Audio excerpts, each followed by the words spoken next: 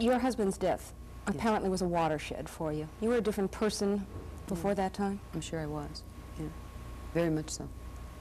Uh, I don't think I ever anticipated that I would probably ever even work again, you know, once I married. I felt that I would uh, be involved in the raising of a family. Uh, my, my first husband was very bright. He was going to go to law school. And he was killed three weeks before he got out of the Marine Corps. So it was a definite watershed. It was, I think maybe I would have been a woman who today, at my age, probably would be wondering, what is what are they talking about? You know, ERA and, and women mayors and all. I probably would have. And I could always understand that there's a feeling there on the part of some women, because I wouldn't have been that way till I found out what it was like to get out there and have a college degree, know exactly how you were raised and what it was like to go to stores and use a credit card and shop and so forth, and just expect, you know, oh, this is me, and because I'm shopping, I'll pay my bill. I suspect you're And selling yourself a little short. No, no, I'm not, really. I really am not. And finding out what it was like, you know, to, because we lived away in other cities during the service, to even try to establish credit. I mean, it wasn't done in those days. And I think many of those things awakened me, as you say, a watershed, to a whole world that I had probably been very sheltered from. And it was a watershed. I don't want to spend our whole discussion on ancient history, but it is such a fascinating story. Most people want to move forward.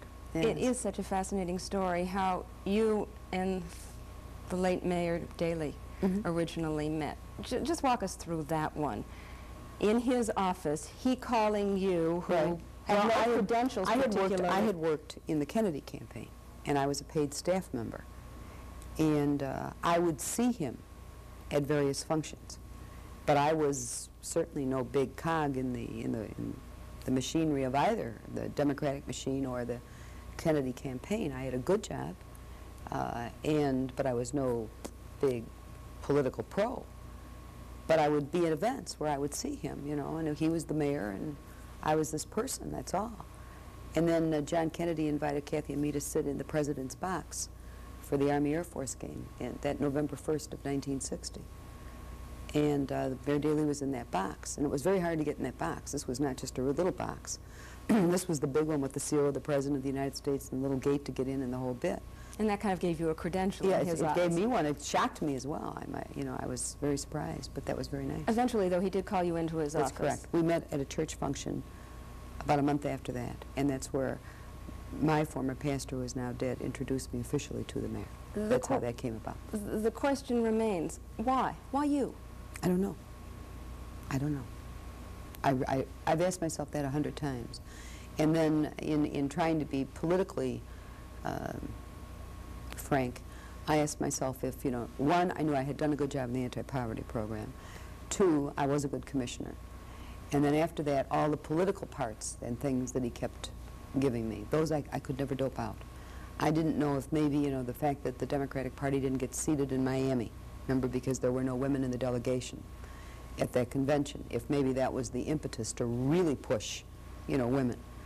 And because I was the one first up there, I was the one that got pushed the most. I really never knew, but we did have a very nice relationship. However, once you were elected, there seemed to be a falling out with the rest of the Daley family. There seemed to be, yes. Why? I don't know. I'll never know. I will never know. You encouraged Ed Burke to run against. No, I did not. Mm-mm. The story I have heard is that you encouraged Ed Burke to run against Others did. Richard Daley, Others did. the son of Mayor Daley. Mhm. And I thought perhaps that that was the crux No. of the friction And between it had your begun. family It had his. begun before that anyway. It had begun. Uh, no, I did not suggest to Alderman Burke that he run, nor did I pick up a phone and talk to anybody prior to the decision of the Democratic Party. Not a soul. And if you recall, I had that was around the Thanksgiving holiday that they were making those decisions and slate making, and uh, I had had some cosmetic surgery done on some cysts and so forth around my eyes, and I was not even available when they made that decision. Nor did I talk to anybody or even suggest it. I did not. Nonetheless, you're willing to admit that there is animosity. After the endorsement, then I did back. But see, I'm not a member. I was not a member of the Democratic Party's Central Committee. I had no role in that. And while mayors had the great say in the past, because Mayor Daley had been chairman of the Central Committee, I was not. I was the mayor. And I had no role in that at all. It became a, an issue, and it sort of became a PR issue. She's picking on them, boom, boom, boom. And that sort of festered. But it, there was no picking. None. Did, did it hurt you? Yes, sure did. Do you blame the press? I, uh, no, I don't, I, no, I don't blame the press because I think what was being uh, given, what the press was reporting was being given to the press. And, uh, I mean, just a simple, uh, very quick story. Uh, I recall the Pope coming, and we did, made a lot of preparations, but due to the Constitution and separation of church and state, the church ran its own show.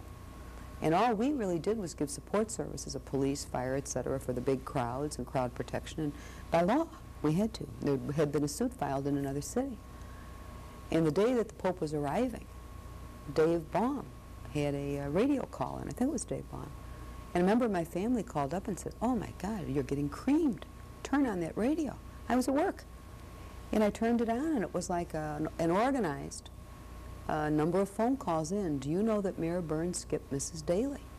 And it went on and went on, and why would she do that? And I hadn't skipped Mrs. Daley. I had nothing to do with it. So I hung up the phone and I called the cardinal. And I said, Your Eminence, you know, I said, I, I can't believe this, but I said, you know, with the Pope coming in and we're all busy and everything. I, I explained to him what was going on, and it was, people were calling the building, calling City Hall, and it was terrible. And I said, would you mind very much putting out a statement that you're in charge of this and that I in no way had anything to do with this? And he said, oh, he said, Jane, I find that hard to believe. He said, he named, I think he said, Monsignor Rosemeyer, got in a car and drove to her home and gave her the itinerary, you know.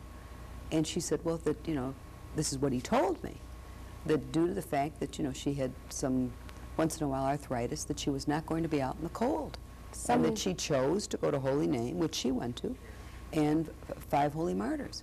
But I couldn't pull that back. I mean, the next thing I knew, it was in the papers that Mrs. Daley was skipped. I had absolutely not a ticket to give out. Who started it? Who do you blame? Who wanted to hurt you that bad? Well, let me say this, that the, there were people in that neighborhood, Bridgeport, and I'm not in any means saying that whole neighborhood, that I had a problem. But it had been the home of the mayor for 75, 80 years. And I think that uh, it was very hard to give up. There wasn't a mayor of Chicago, really, in our lifetime or in our history, really, recently, recent history, that didn't come from Bridgeport. And that meant, you know, a tremendous amount of power.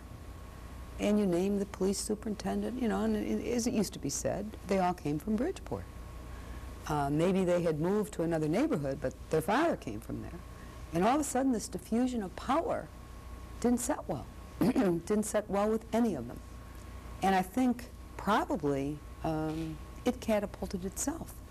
Because when people would say that I was picking on them, you have to understand that I viewed it as a whole city. And I came in there with a coalition of other groups, and I wasn't delivered by the machine. So if I said, look, we're going to give insurance to everybody, not just one family or one firm, that was viewed as picking. I didn't view that as picking. I didn't take it away from everybody. But if you've got two billion to give out, you say, well, we're going to share it with 10. Now, it would be normal, I think, actions of a mayor in trying to spread around that which you have to spread and not particularly saying, Bridgeport, I don't like you, but really sort of positively said, I, don't, I really don't care where you come from if it's good for us. Did But that, that ownership of the city and the city government had rested there so long that they couldn't understand that.